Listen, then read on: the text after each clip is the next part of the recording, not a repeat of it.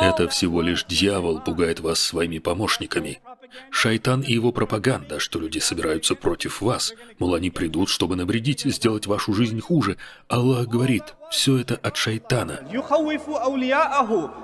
Все, что он делает, внушает страх перед его сторонниками и хочет, чтобы вы боялись его друзей. Это один из вариантов перевода текста аята. С точки зрения грамматики равноценна и другая интерпретация – в страхе живут только те, кто в дружбе и тесном общении с дьяволом. То есть, если вы устрашились, говорит Куран, значит, вы завели дружбу с кем? С шайтаном. То есть, ему удается напугать только своих друзей – Два момента. Он хочет, чтобы вы страшились его друзей, и если вы устрашились, то становитесь ему другом, сторонником. «Не бойтесь их, проявляйте страх лишь предо мною, — говорит Господь миров, — если вы верующие». Каждый раз, когда мы становимся перед Аллахом, мы делаем это не просто как поклонение, не только из-за нашей веры в единого Бога.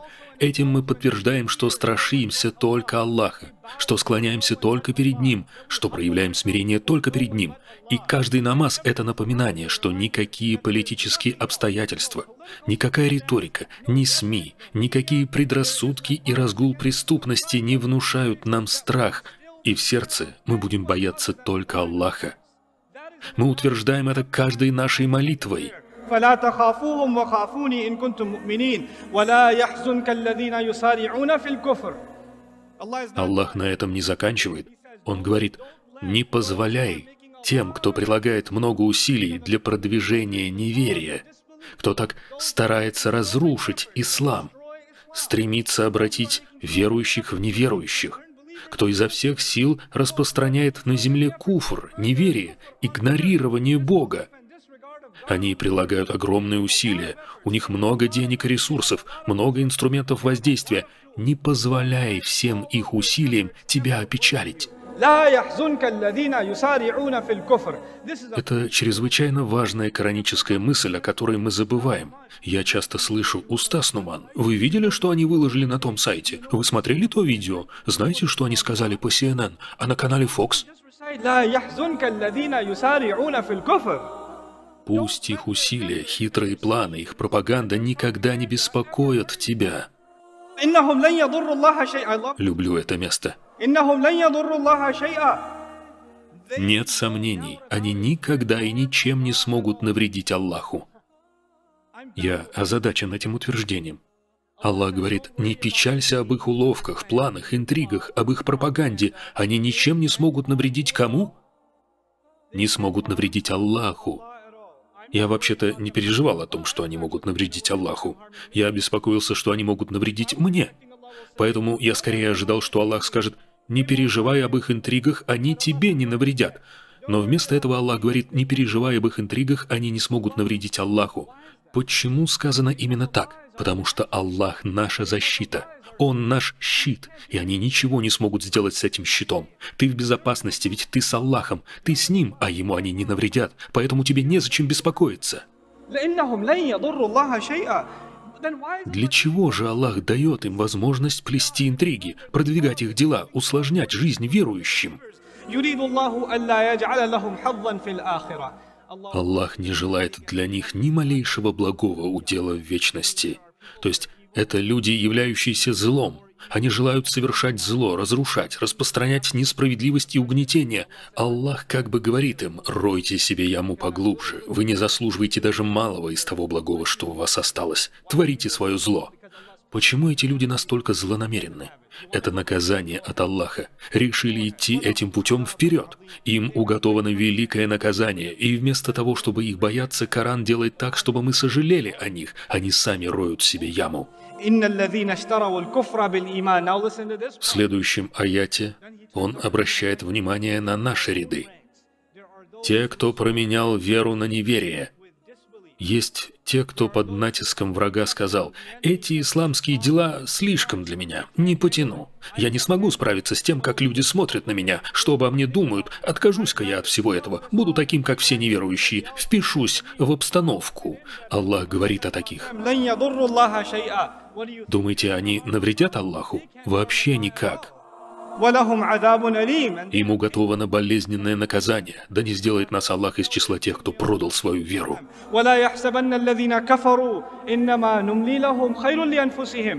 Пусть неверующие Враги религии Аллаха, ярые противники пророка, саллаллаху алейхи вассалям, не думают, и вы не думайте, что творимое ими и отсрочка, предоставленная им Аллахом, является благом для них.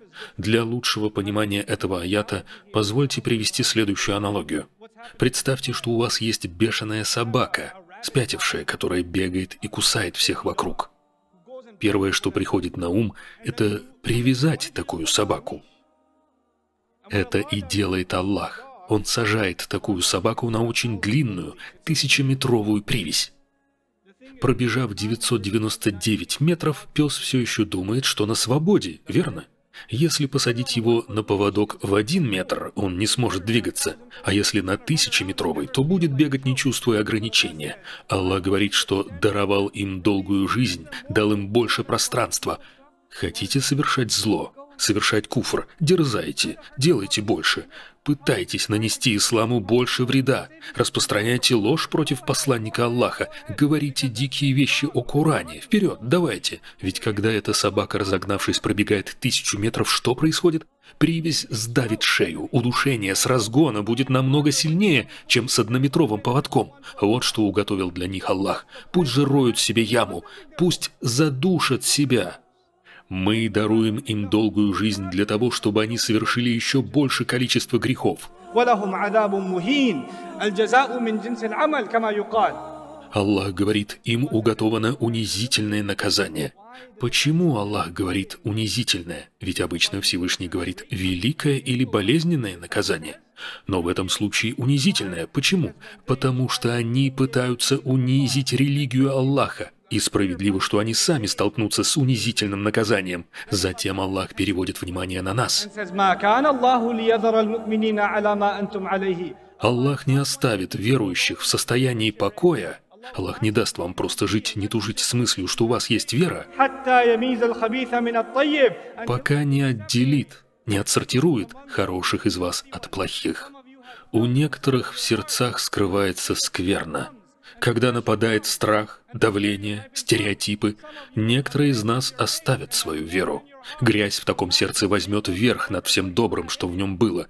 Аллах говорит, что проведет нас через ужасно трудные испытания, чтобы отделить от уммы всю скверну. Пусть же никто из нас, по милости Аллаха, не будет из их числа. Аллах не показывает вам неведомое, сокрытое. Люди приходят к шейху, имаму, богослову, спрашивают, «Шейх, когда закончится вся эта фитна? Когда станет лучше?» Аллах говорит, что не дает нам знаний о невидимом. И я вам не скажу, что через три года все наладится. Нет, нет, нет. Кстати, именно это я слышу в христианских церквях. Да, иногда я захожу туда просто посмотреть, что они делают. Мне интересно, как они ведут свой даават, свой призыв. Как им удается собрать стотысячную толпу на стадионе и проповедовать? Я захожу послушать, что эти ребята делают. Так вот они говорят, грядущий год будет для вас великолепным. Господь позаботится обо всем. У вас будет продвижение по службе. Вы наконец-то оформите развод. Все у вас будет классно в этом году. Господь обещает. Что?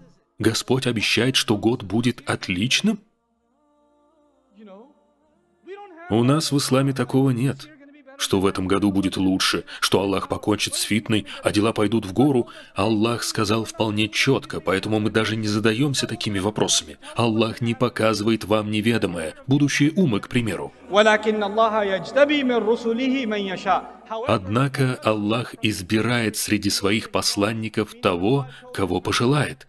То есть Аллах выбирает посланника и разъясняет ему то, что вам нужно знать. Так сосредоточьтесь на том, что сказано Аллахом, а не на том, что не сказано. Если бы это было важно для вас, Аллах бы дал вам это. Поэтому не зацикливайтесь на неважных деталях.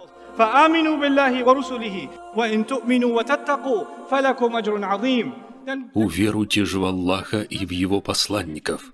Если уверуете и будете богобоязненными, то получите великую награду. Чего же еще вы хотите? Будьте верующими и богобоязненными. Аллах говорит, что в самые сложные времена вам понадобятся лишь эти две вещи, остальное приложится. Не нужно зацикливаться на проблемах. И в завершении моего выступления еще один совет нам с вами. ولا يحسبن الذين يبخلون بما آتاهم الله And don't you ever Пусть не думают жадные люди, мелочные, касательно предоставленного им Аллахом на время из Его милости, которая объемлет всех, пусть не думают, что их скупость явится благом для них. Мы с вами живем в те времена, когда молодым людям следует задуматься о своем свободном времени, которое Аллах даровал им. Даровал не для того, чтобы тратить по 8 часов в день на компьютерные игры или смотреть сериалы. У вас нет на это времени. Вы мусульманская молодежь. Аллах даровал вам свободное время, таланты, креативность. Не для того, чтобы креативить шуточки в социальных сетях. Таланты нужно использовать более продуктивно – Потому что когда люди, которым Аллах даровал богатство, роскошь, возможности, здоровье, таланты, относятся к этим дарам ничтожно, тратят их только на себя, Аллах говорит о таких. Пусть не думают, что поступать таким образом лучше для них. Это хуже для них. Те самые блага, на которые они скупились, станут удушающей веревкой на их шеях в день воскрешения.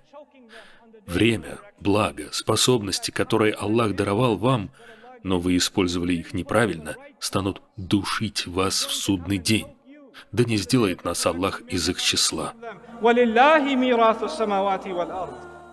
Лишь Аллаху принадлежит все наследие небес и земли. Почему здесь говорится «наследие»? Аллах напоминает нам, чем бы мы с вами ни владели, чем бы мы ни наслаждались в этой жизни, мы не сможем взять это с собой. В итоге я буду лежать в сырой земле, а кто-то другой будет водить мою машину. Буду в могиле, а кто-то другой будет ходить в моей одежде. И этот кто-то тоже не слишком долго будет водить эту машину, он тоже окажется в земле. Через сто лет кто-то другой будет жить в этом доме, кто-то другой будет вкушать плоды с моего дерева во дворе. Оно уже не будет моим. И в конце концов, все это наследие вернется к Аллаху, ведь Ему оно принадлежит. Все уйдут. Осознайте временную природу материального мира. Не превращайтесь в материалистов в своих целях и стремлениях. В эпоху Великой Смуты Аллах предлагает нам беспокоиться лишь о том, что мы приобретаем пред Аллахом. Трудитесь в этом мире, преуспевайте, старайтесь по полной. Но если все это вы хотите делать для этой жизни, именно это вас и задушит, и уничтожит. Наша религия прекрасна. Это такой баланс между тем, что мы хотим в мире вечном, и тем, что мы получаем в этой жизни. Это баланс, гармония. Мы не являемся людьми только Ахера или только Дуня. Мы те, кто говорит.